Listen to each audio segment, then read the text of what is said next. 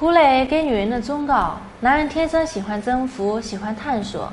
当你让他一眼望穿的时候，他往往会对你失去兴趣；当你不远不近地站在他旁边的时候，他会把你当成一笔宝贵的财富，慢慢挖掘你的神秘，欣赏你的容颜，回味你神韵。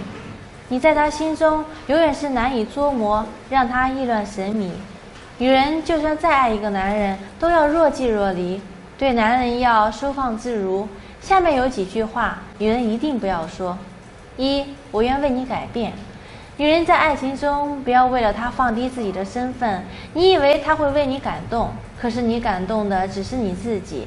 即便你有沉鱼落雁的容貌，送货上门的女人，男人可能一时喜欢，时间长了也厌烦了。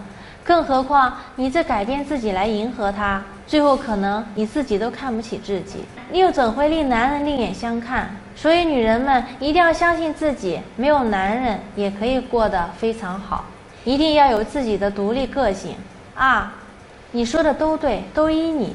在生活中，往往不听话的女人总是有着自己做事原则和想法，她们的生活一直充满着新鲜感，不会让男人厌倦。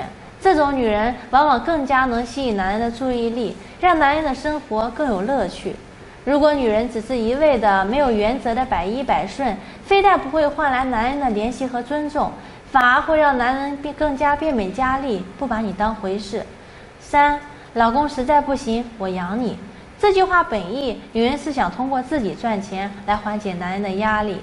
但是女人们要记住，男子汉，男子汉，顶天立地。记得涂磊老师说过一句话，很有道理：不要剥夺一个男人做男人的权利，不要履行一个男人做男人的义务，取而代之只会让对方感觉羞愧和逃避，感觉不到自我。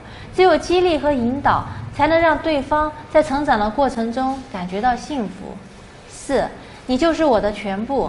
当你对男人说这句话的时候，我相信男人的内心深处是排斥的、恐惧的，因为男人的世界不单单只有爱情，会有各种各样的东西充斥着他的世界，比如说他的独立生活、事业、朋友、理想、梦想，甚至男人还会想着偶遇一次艳遇等等。总之，男人的世界是多姿多彩的。当一个女人对男人说“你就是我的全部”的时候，就会使男人感到非常有压力，因为男人和女人在一块，最希望的就是轻松和快乐。你这样说，无形中给男人上了一道枷锁，在男人的世界里，没有一成不变，未来有很多不确定性。